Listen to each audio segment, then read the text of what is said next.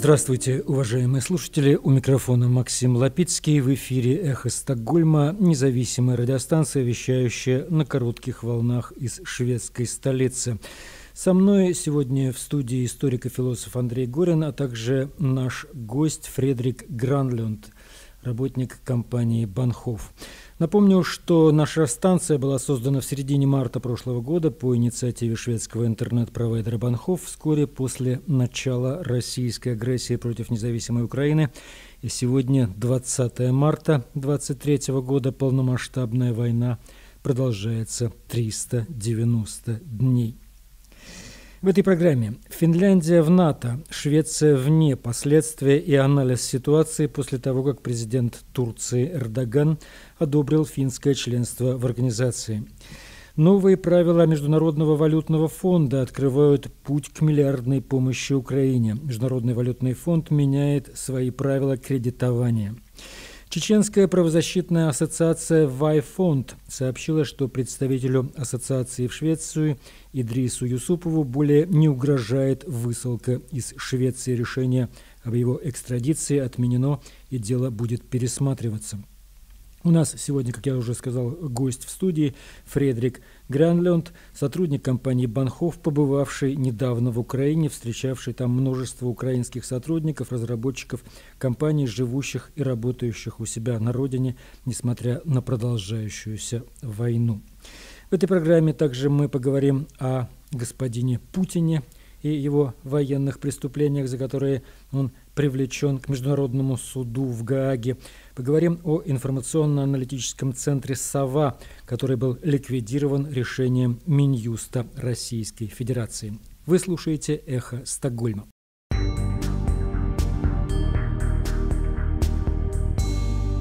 Худший возможный исход для Швеции – серьезная неудача для шведского правительства. Никакого другого вывода нельзя сделать, когда президент Эрдоган сейчас утверждает Финляндию, а не Швецию в качестве члена НАТО. Об этом говорят многие шведские политические аналитики, в частности, эксперт шведского общественного телевидения Мац Кнутсон. Он говорит – когда подавляющее большинство в Риксдаге в прошлом году решило, что Швеция подаст заявку на членство в НАТО, Важным аргументом было то, что произойдет это вместе с Финляндией.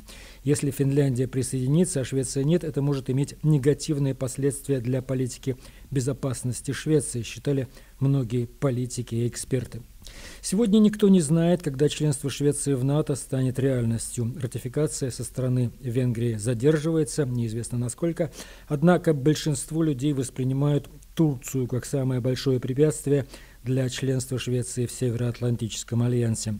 Правительство надеется, что Турция ратифицирует Швецию где-то в июне в преддверии саммита НАТО в Вильнюсе в начале июля. Однако произойдет ли это пока не ясно. Если Турция решит не ратифицировать членство Швеции в альянсе в июне, окончательное объявление может быть отложено до конца этой осени или даже до следующего года. Это был бы кошмарный сценарий для шведского правительства, говорит Мац Кнутсон, который выделяет членство в НАТО как самый важный вопрос для национальной безопасности Швеции. В то же время некоторые аналитики считают, что, несмотря на это, Швеция сегодня находится в более безопасном положении, чем до подачи заявки. Несколько весомых стран НАТО дали Швеции гарантии безопасности, то есть устное обещание помочь в случае нападения. После заявления Турции о добре для Финляндии в минувшую пятницу Швеция может оказаться окруженной странами НАТО, что, вероятно, повысит безопасность Швеции. Говорит и о том, что риск военной конфронтации в районе Балтийского моря сегодня меньше, чем год назад. Война на Украине развивалась для России не очень удачно. Значит, ресурсов для расширения конфликта в акватории Балтийского моря практически не осталось. Хотя есть и несколько явных недостатков того, что Швеция остается вне НАТО, когда в организацию вступает Финляндия. Во-первых, предполагается, что риск возрастает, поскольку Россия попытается различными способами сорвать или остановить процесс вступления Швеции в альянс с помощью различных форм операций влияния. Другое, Швеция, как единственная страна, не имеющая гарантии безопасности в районе Балтийского моря, в таком случае не имеет гарантии безопасности со стороны НАТО. Страховки, представленные Швецией различными странами, не являются обязывающими. С другой стороны, Пятая статья Устава НАТО о гарантиях взаимной обороны является обязательной. Страна, подвергшаяся нападению, должна быть защищена. Однако, учитывая географическое положение Швеции, НАТО все же может быть заинтересовано в том, чтобы давать отпор в случае военной агрессии. Стратегическое расположение Готланда посреди Балтийского моря чрезвычайно важно для НАТО. И вообще шведская территория имеет большое значение, чтобы иметь возможность добраться, например, до Финляндии и стран Балтии в гипотетической военной ситуации. Вот таков анализ политического эксперта шведского телевидения Матса Кнутсена. Еще одна новость. Новые правила Международного валютного фонда открывают путь к миллиардной помощи Украине. Международный валютный фонд меняет свои правила кредитования, чтобы иметь возможность утверждать пакеты поддержки для стран, испытывающих исключительно высокую неопределенность из-за внешних факторов, сообщают международные СМИ. Ожидается, что это решение проложит путь к новой финансовой поддержке Украины, которая подала заявку на получение пакета поддержки в размере 15 миллиардов долларов от Международного валютного фонда. В заявлении Международного фонда говорится, что изменения правил касаются стран, чьи факторы неопределенности исходят извне и находятся вне контроля экономической системы. Украина в заявлении конкретно не упоминалась, но по данным агентства Reuters, изменения правил были разработаны после переговоров с украинскими властями о новом финансировании. Еще одна новость. Чеченская правозащитная ассоциация «Вайфонд» сообщила, что представителю ассоциации в Швеции Идрису Юсупову более не угрожает высылка из Швеции. Решение об его экстрадиции отменено и дело будет пересматриваться. Дело представителя ассоциации «Вайфонд» в Швеции Идриса, ранее пережившего жестокие пытки, являющегося преследуемым лицом российским режимом в лице кадыровской преступной власти, получило новое продолжение пишет Вайфон в своем телеграм-канале. Не совсем победа, но уже очень позитивный шаг в деле нашего сотрудника. Миграционный суд при административном суде в Гетеборге постановил, что все ранее принятые миграционным ведомством решения должны быть аннулированы, а само дело должно быть пересмотрено. Ранее Идрис получал всевозможные отказы, так как ему не верили, несмотря на невероятно большую поддержку всемирно известных правозащитных организаций и его активную политическую деятельность, которая была доказана. После пыток и шантажа семья Идриса бежала в Швецию. Теперь, спустя 9 лет, шведское миграционное ведомство хотело его депортировать. И вот отменяет это решение.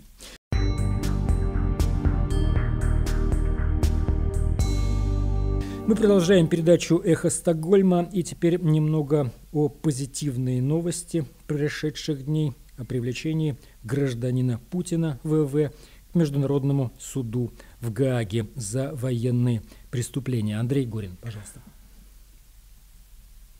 Решение Международного уголовного суда в отношении Владимира Путина и уполномоченный при нем уполномоченный по правам ребенка Российской Федерации, э, которая непосредственно ответственна за депортацию украинских детей с э, захваченных оккупированных территорий, э, собственно, перемещенных в Россию. Это событие, последствия которого пока трудно себе представить, даже, даже в полной мере.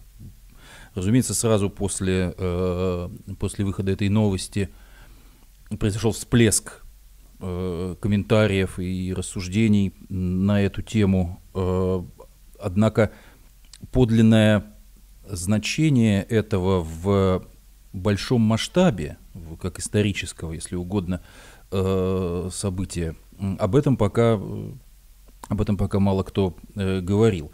Я хочу высказать некоторые соображения, приходящие, приходящие на ум по этому поводу. Может быть, мы их обсудим. Э, во-первых, это шок э, для российского населения. Вспоминается э, здесь в свое время книга посетившего Россию еще при Николае I маркиза Кюстина, французского, французского путешественника, которая стала такой образцовой, образцовой для своего времени э, пощечиной, вскрывающей, э, вскрывающей унизительный характер и анахронизм, э, анахронизм того режима, который в свое время утверждал Николай I, справедливо названный жандармом Европы, да, Владимир Путин создает и стремился создавать, стремился создавать подобный, подобный миропорядок, в котором он мог бы быть этим жандармом, определяющим или позволяющим или не позволяющим э, те или другие э, процессы, э, происходящие в других странах. Но э, вот это вот, э, собственно говоря, э, ассоциация, э, ассоциация с Астольфом Декюстином, э, мне кажется, очень, очень важной, потому что унижение властителя – это трагедия рабов, да, ведь им, в отличие от народов других стран, не удалось, не удавалось не удавалось ничего подобного э, сделать по отношению к э, собственному, если угодно, диктаторскому э, режиму. А как интересно им рассказывают об этой трагедии? Им же, наверное, рассказывают об этом как о победе с ухмылочкой, как он любит. Тут это. есть э, две э, по-разному, да, э, совершенно верно. Э, это, это, это один полюс э, подачи, э, подачи этой новости, э, а другой, э, другой это, это дискредитация, дискредитация, собственно говоря, органов Международного уголовного суда, постоянное подчеркивание, что это, как высказался даже путинский преступник Вячеслав Володин, что это де, органы другой планеты – это очень, э, очень, яркое, э, очень яркое рассуждение, потому что российский режим тоже иногда выглядит, э, по крайней мере, в глазах, в глазах российского населения тоже, как будто учрежденный какими-то какими-то выходцами с Марса. Да. Органы другой планеты, но тем не менее, по-моему, 123 государства будут обязаны его арестовать Раз... в случае его появлению на их территории. Правильно, Международный уголовный суд – это орган нашей планеты, да, от которой, э, от которой э, Путин и, и российский режим, э, на, с которой Путин и российский режим находятся, находятся в, в ситуации цивилизационного конфликта.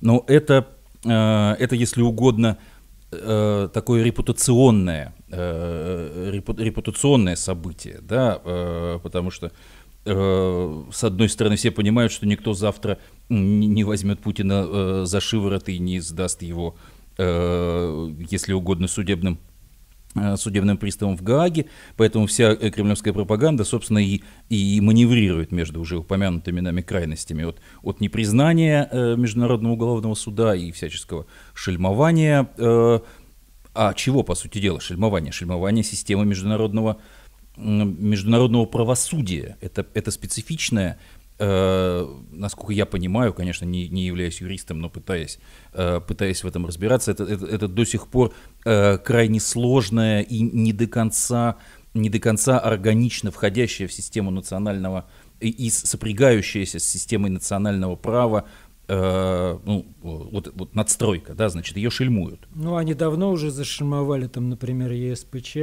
уже отказались от его юрисдикции. То есть уже это же не первый шаг в их шельмовании международных юридических организаций. Ну, там дело обошлось, ну, не то чтобы обошлось, таких каких-то особых шельмований я, я не встречал. Был, это просто был, был выход, э, соответственно, из из обязательств э, России в Совете Европы, соответственно, что, что и, и, и привело э, к выходу из-под обязанностей да, по, по исполнению решений Европейского суда по правам человека. Эти, эти аспекты подчеркивают все большую и большую несовместимость э, с точки зрения неправового характера путинского режима. Неправового характера. Ну, мы уже в неправовом характере, по-моему, режима давно и тем не менее, тем не менее, еще мы, одно подтверждение, мы, да. Мы продолжаем об этом, э, об этом э, упоминать. Э, и вот это же пред, э, предопределяет э, усилия Кремля по э, усилению, э, то, что называется словом ресентимент, да, по по отношению к э, свободным странам, э, отделение себя и демонстрация э, собственной, собственной несостоятельности как некоторое квази-достижение, как некоторое квази, квази-достижение, но, по сути дела, опять связанное с этой риторикой так называемой, так называемой автаркии и не, а, суверенной вот этой вот в кавычках демократии, да, потому что демократия э, не может быть суверенной, это, э, это универсальные принципы, которые подразумевают э, в данном случае международное, международное сотрудничество и сотрудничество в том мире, в котором мы живем. Ну, здесь, здесь нет сюрпризов, но с другой стороны, российский истеблишмент, если угодно – э, возможно, начнет э, как-то предпринимать, э, предпринимать определенные меры. Предпринимать определенные меры в связи с, э, с, этими, э, с, этим, с этим ордером. Э, и вот не, недавний, э, недавние скандалы э, в, э, вокруг Фонда борьбы с коррупцией и, э, соответственно, в среде э, в среде э, русской оппозиции э, на Западе являются Э, являются тоже признаками вот этого процесса, который, э, который сопряжен э, с, с, с уголовным преследованием и именно с правовыми, с правовыми претензиями по отношению к Путину и функционерам, преступным, преступным функционерам путинского режима. Поэтому сейчас, сейчас для Запада будет большой ошибкой, если он не сформулирует и не представит Э, последовательный план делегитимации э, путинского режима, э, опять же в перспективе, в перспективе той самой десоветизации, депутинизации, о которой о которой мы постоянно говорим, чтобы не оставить лазеек, не оставить лазеек для сохранения институтов преступного режима, персоналей и, и, и бенефициаров, тех, кто получает от всего этого выход, выгоду, собственности, э, за которую пойдет э, основная борьба. Э, вот это вот то, что, то, что сопряжено, сопряжено, соответственно, с решением, с решением Международного уголовного суда. В противном случае вот эта вот в кавычках русская матрица, имперскость, антиличностность, она будет Э, будет продолжать воспроизводиться. Э, в этом плане э, десоветизация и депутинизация сегодня начинают подразумевать и, и требовать того, что можно назвать рационализацией, рационализацией, рационализацией устремлений и встраивание этого в вот этот вот правовой, в частности, правовой, в частности, дискурс по, по последовательному Э, выявлению э, и, и привлечению, э, привлечению к ответственности и указанию уже сейчас на, на, неотвратимую, на неотвратимую ответственность соучастников путинских преступлений сверху донизу. Спасибо, Андрей. Вы слушаете «Эхо Стокгольма» и, наверное, еще несколько новостей из страны террориста, теперь уже как бы официально признанной на волнах «Эхо Стокгольма». Э, Министерство юстиции России потребовало ликвидировать информационно-аналитический центр «Сова». Э, «Сова» э, — это информационно-аналитический центр, это правозащитная организация, которая прежде всего была сосредоточена на вопросах свободы совести, отчасти сопряженных с национальным, с этнонациональным э, компонентом. То есть это, э, это структура, э, выпускавшая в частности, я, я помню, и был неизменным э, неизменно изучал э, пространные ежегодные обзоры э, значит, э, положения со свободой совести в России, которые Сова, э, Центр Сова подготавливал э, на протяжении многих лет э, в части э, равноправия, Э, доступа или присутствия э, различных э, религиозных движений и направлений в публичном пространстве, дискриминации, преследований, выявления типов преследований в конечном итоге, ограничивающих свободу совести. Сегодня основным нарушением издевательски, как это э, часто бывает с путинской правоприменительной практикой, э, признано проведение центром мероприятий вне региона регистрации. Он зарегистрирован как московская, как московская организация. Соответственно, в иске, который э, вот Министерство юстиции э, России направило в московский городской суд, об, этом, об этом, собственно говоря, и, и упоминается. Э, в центре САВАК говорят, что очередная волна нападок началась в сентябре 2022 года, когда э, на российском телевидении вышли сюжеты с критикой э, центра САВА, в частности, за якобы русофобию, противодействие традиционным ценностям и сотрудничество, они пишут в кавычках, не с теми партнерами, и за критику центром САВА э, неправомерного применения и злоупотребления правом в поправках и, и в правоприменительной, соответственно, практике э, российского законодательства. И разные э, карманные, непонятные, мутные э, путинские организации, как общественное движение ветераны России, э, направляло э, значит, жалобы на Центр э, в Следственный комитет. Э, ранее ведь именно по доносу ветеранов России в отношении сотрудников Международного мемориала возбудили дело о реабилитации нацизма. Об этом мы Э, об этом мы тоже говорили. А Центр «Сова» еще в 2016 году одним из первых внесли в реестр э, иностранных агентов Минюста. Э, и вот сейчас эта организация, э, которая рассматривает вопросы национализма, ксенофобии, взаимоотношений религии и общества, и, что очень важно, э, злоупотребление, э, злоупотребление правом э, в части, э, в так называемом антиэкстремистском законодательстве России. Вот сейчас Э, Министерство юстиции стремится э, ликвидировать ее э, организационно. Хорошо, спасибо, Андрей. Вы слушаете «Эхо Стокгольма». Напомню, что мы в эфире по вторникам и субботам на коротких волнах, диапазон 31 метра, частота 9670 кГц. Мы вещаем в 10 вечера по Киеву и в 11 часов по московскому времени. Выкладываем программы на платформах Telegram, SoundCloud и Apple Podcast. И сейчас мы поговорим с гостем нашей студии. Это Фредерик Гранлюнд, сотрудник компании Банхов, побывавший недавно в Украине, встречавший множество украинских сотрудников, разработчиков компаний, живущих и работающих у себя на родине, несмотря на продолжающуюся войну. Велкомен, Фредерик, till vår program. Du besökte nyligen Ukraina och eh, berätta om den här resan. Eh, ja, precis. Jag jobbar ju som, som journalist eh, fram tills alldeles nyligen och jobbade då med bas på Åland, alltså en, en del av Finland, så jag arbetade för finländska medier. Och eh, jag valde ju att åka ner just med förstås med anledning av Я журналист, и я работал долго на Оланде. Это Финляндия, но шведскоговорящая Финляндия. И я, как журналист, очень хотел поехать посмотреть, что происходит в Украине. И вот эта поездка состоялась.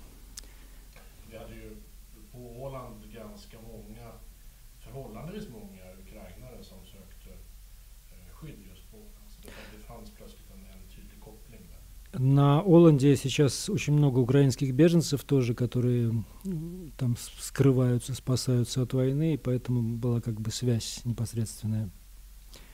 Så jag reste då från, från Polen och in i Ukraina via Lviv då. Tillbringade någon vecka där innan jag reste vidare till Kiev och så var jag i Dnipro och mot slutet också så åkte jag я приехал в Украину из Польши, попал сначала во Львов, потом э, был в Киеве, потом был в Херсоне, в Днепро. Syftet var ju kanske inte så mycket att skildra kriget, alltså krigshandlingarna, soldaterna i skyttegravarna, utan att istället försöka prata med vanliga ukrainare, vanliga invånare och höra om deras vardag under kriget. Så det var, det var min inriktning. И целью моей поездки было не столько разговаривать о том, что происходит в окопах, что происходит на самой войне, сколько поговорить с обычными людьми, живущими там, украинцами, почувствовать, что происходит в стране.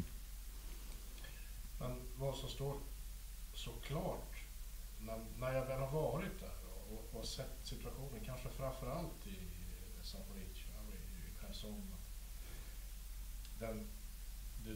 ryska anfallskriget får en sån enorm effekt på människors ja, existens kan man säga. När vi var i Cherson så upplevde ju jag och min tolk att ja, artilleri, eh, artillerield helt enkelt. Vi var något café för att inte hamna i, i mitt i artillerield. Vi var besökte ett eh, busstorget i, i Cherson. Bara direkt, alltså, med- ja, väldigt kort efter att jag hade lämnat busstorget så slog det ner artillerigranater där. Och det, det blir så tydligt att, att ryska styrkor skjuter hänsynslöst mot civila. И особенно, конечно, впечатлили посещение Запорожья и Херсона, где человеческая жизнь постоянно находится под угрозой. Это особенно чувствовалось в Херсоне, куда мы приехали и сразу же попали под обстрел. Мы попали под обстрел на автобусной станции. Мы были на автобусной станции, но уже вскоре после того, как мы оттуда уехали, туда прилетела российская, что это было? Ракета. Ра- Это была не ракета, это был просто снаряд, артиллерийский снаряд прилетел по автобусной станции, да. Det blir också så uppenbart lika lite som jag tror att vi i väst förstår varför Ryssland egentligen angrep Ukraina. Vi förstår väl eh, på något, på något sätt att det, att det finns geopolitiska skäl bakom säkerhetspolitiska intressen och sådär. Men de är konkreta skälen för att angripa Ukraina. Det här med att utrota nazister och demilitarisera landet och, och det här. Jag har inte träffat en enda ukrainare som förstår vad Ryssland ens menar. И интересно, когда разговариваешь с украинцами, практически никто не понимает, какую же цель преследовала Россия, Путин, когда они развязали эту войну, потому что никто не понимает этих геополитических целей, вот так называемой денацификации или деми- демилитаризации Украины. Они не понимают конкретно, почему же все-таки это произошло, почему эта война вообще началась. Väldigt svårt, vi pratade ju om, om Putin tidigare och just de säkerhetspolitiska intressena. Det är ju så svårt att förstå hur det kan finnas någon, någon fördel för Ryssland i det här kriget. Vad uppnår Ryssland? Man har samlat alla europeiska länder i NATO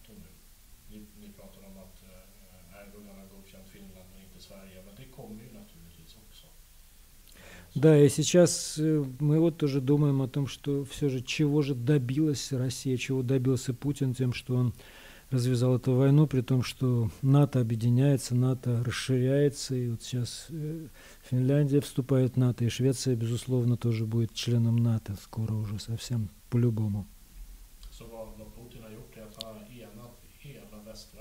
То есть USA.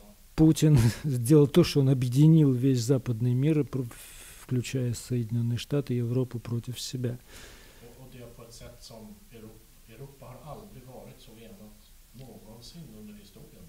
И можно сказать, что Европа никогда не была настолько едина в этом противостоянии, как сейчас.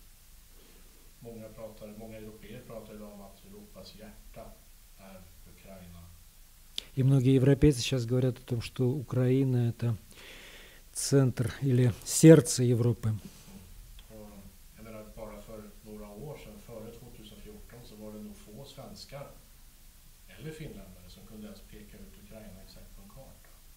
Еще несколько лет назад э, многие укра... э, финны или шведы, в принципе, не могли даже показать, где Украина находится на карте.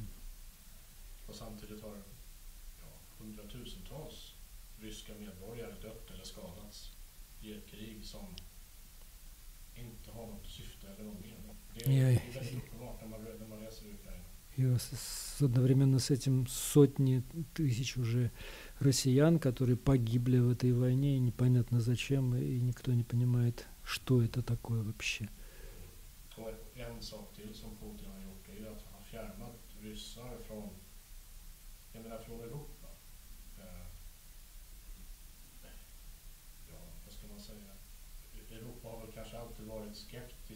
Ryssland men inte, mot, inte gentemot ryssar som människor. Men idag är det svårt för И то, что сделал Путин, он создал этот скепсис по отношению к россиянам, хотя никогда не было никакого скепсиса по отношению к россиянам. Был скепсис по отношению к власти российской, но не к россиянам. И он создал это тоже, это специальное отношение к русским людям здесь, в Европе и в mire. Eh, Fredrik, du träffade några medarbetare på Bahnhof där, som jag förstår, som bor i Ukraina och vill inte lämna landet. Berätta om dessa möten. Я прошу Фредерика рассказать немного о тех встречах с сотрудниками компании Банхов, которые работают в Украине и не захотели выезжать, а остаются там. Ja, ett av mina uppdrag då, när jag var där, det var för just företaget Bahnhof eh, som har, eh, jag tror ett 20-tal medarbetare med ukrainsk bakgrund. Одним из моих э, заданий в этой поездке было как раз встретить сотрудников Банхова, там их около 20 человек, работает в Украине, продолжают оставаться там жить и работать evakuera alla precis före kriget faktiskt. eh, eh, Efter ett initiativ från, från företagets VD då. Några, några nappade på det erbjudandet. Några kom till Sverige under en period och har sedan rest tillbaka. Andra har stannat i Sverige och jobbar eh, för Bahnhof här. Eh, Ytterligare några har, har eh, valt att flytta till Polen. utifrån det. Некоторые сотрудники, Банхов сразу после, до, еще до начала войны предложил эвакуировать сотрудников своих. Некоторые согласились с этим, приехали в Швецию. Некоторые из них уже вернулись обратно в Украину, а некоторые уехали работать в Польшу. Och, och den delen av uppdraget gick ut på egentligen att träffa några av dem, eller ja, egentligen alla då som, som bor kvar i Ukraina och se till att de har det bra helt enkelt. Och sen också följa dem under en, eh, en eller ett par dagar. И вот задачей моей было встретить просто-напросто этих людей, посмотреть, как они себя чувствуют, хорошо ли все с ними, и немножко, может быть, вместе с ними там побыть и понять, что происходит.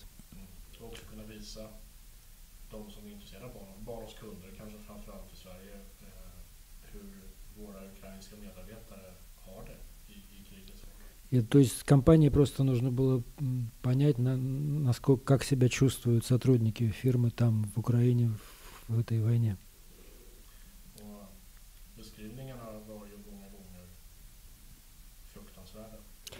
И описая и то, что они говорили, очень часто было действительно ужасно.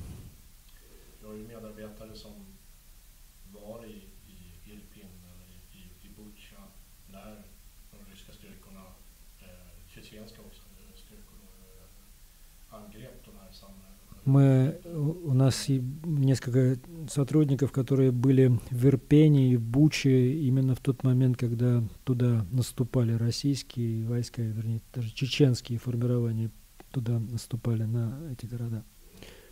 Och kunnat, vi har, ju- jag har också kunnat dokumentera hur, hur eh, ryska styrkor egentligen eh, ja, med berått mod besköt civila med granatkastareld eh, till exempel. Så de som flydde från Irpin blev ju beskjutna av ryska И нам удалось документально подтвердить то, как эм, российские войска обстреливали мирное население, обстреливали из гранатометов, обстреливали из автоматического оружия мирное население.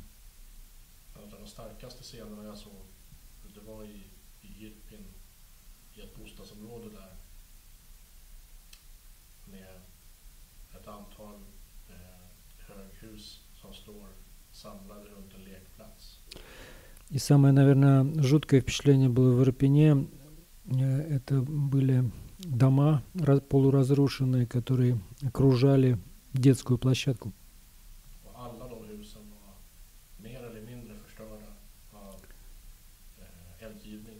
Eh. И все эти дома были в той или иной степени разрушены от э, артиллерийского или другого огня. Это были обычные жилые дома. И там абсолютно точно не было солдат, которых стоило стрелять. Man. И вот подобное ман- человек видит практически везде в Украине сейчас.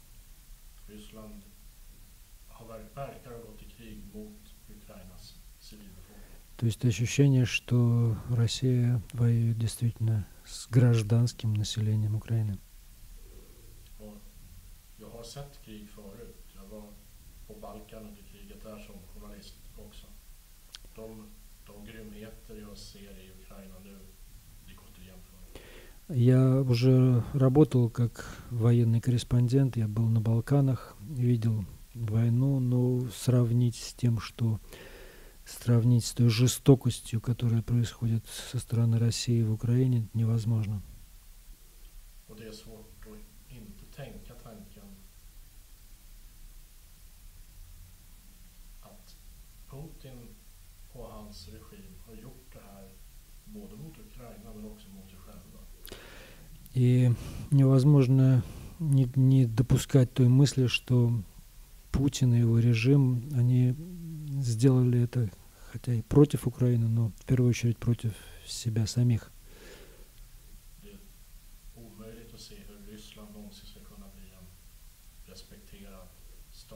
Потому что невозможно сейчас представить, что Россия когда-либо станет опять уважаемым gosударством. Och, den, och, och den stora frågan också, varför, varför låter det ryska folket och hans regim hållas? И, конечно, большой вопрос, почему российский народ позволяет Путину вот это все делать, позволяет, оставляет, ос- он остается у власти. Jo, men Fredrik, vi kanske slutar den här samtalet, men kanske något viktigt också från den här resan, mest känslos, känslosamma sak som du träffat där i Ukraina, kan du berätta?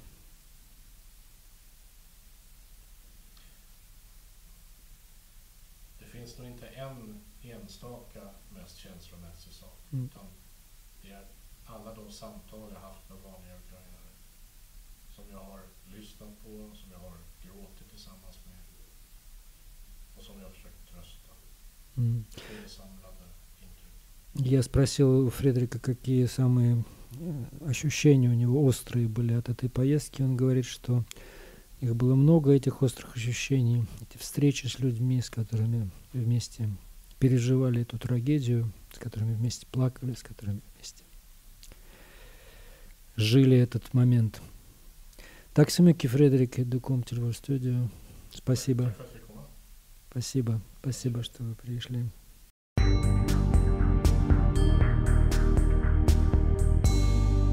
Мы благодарим сотрудника Банхов Фредерика Гранленда за участие в программе «Эхо Стокгольма». И еще немножко, Андрей, у тебя есть еще какие-то новости, да, из Российской Федерации под финал нашей программы. Я, собственно, э, хочу вспомнить о разного рода праздниках, которые миновали э, некоторое время назад. Э, об разного рода э, постановках, которые происходили в российских школах. И вот в Татарстане, в Казани, большой шум наделало, э, наделало видео с, со школьного, э, со школьного вот этого э, праздника, в котором мы видим, как школьников, по сути дела,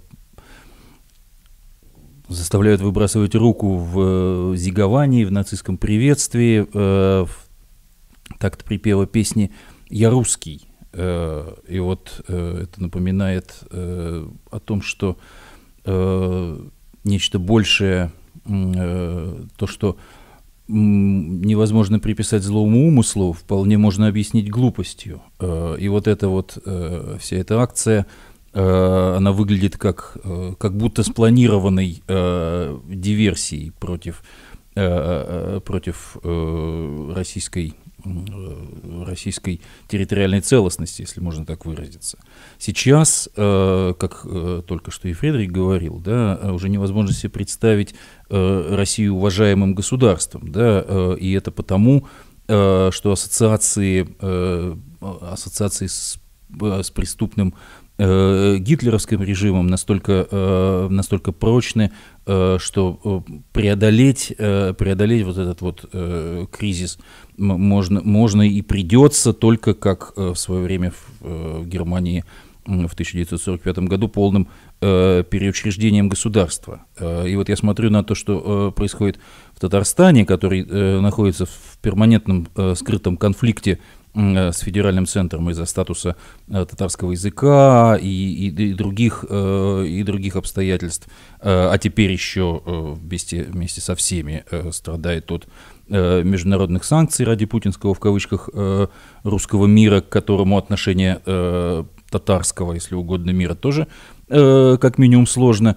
И, видимо, этих противоречий недостаточно, поэтому казанских детей заставляют зиговать Э, под песню «Я русский». Э, если это кажется нам недостаточно сумасшедшим, то можно приглядеться, и мы увидим, э, что вот под эти завывания «Я русский» Зигу выкидывают девочки в хиджабах. И это дополняет, дополняет еще сюрреалистичность этой картины. И те, кто не понимает, каким образом будет происходить, будет происходить в частности значит, переучреждение, э, переучреждение государственности и, и разрыв э, с нынешней преступной, э, с государственной преемственностью, с нынешним преступным режимом, как именно это будет происходить, когда у федерального центра закончатся деньги и влияние в регионах, которых, если угодно, заставляют, заставляют проделывать вот подобные подобные штуки, то вот этот недавний, э, недавний ролик э, содержит максимально, максимально четкий и, и однозначный намек. А что, они прямо вот так зигуют? И что это за, за, за такое за приветствие? Ну, это какое-то такое выбрасывание руки вперед и вверх, да, мы, это старое... Как будто пионерское, да? Ну, ну, Похожее на пионерскую, да, но у пионеров там это было как бы... С, с, согнутая О, в локте рука, да, да, да. А, а вот это вот дискредитированное нацистами римское приветствие, которое мы иначе как зигованием не можем называть, да, оно именно дискредитировано, э, э, и в данном случае вот это все вместе, э, все вместе представленное, да еще и вдобавок в, еще раз, как я говорю, в татарском в татарском регионе девочками в хиджабах, э, пою, э, выкидывающими, значит, э, зигу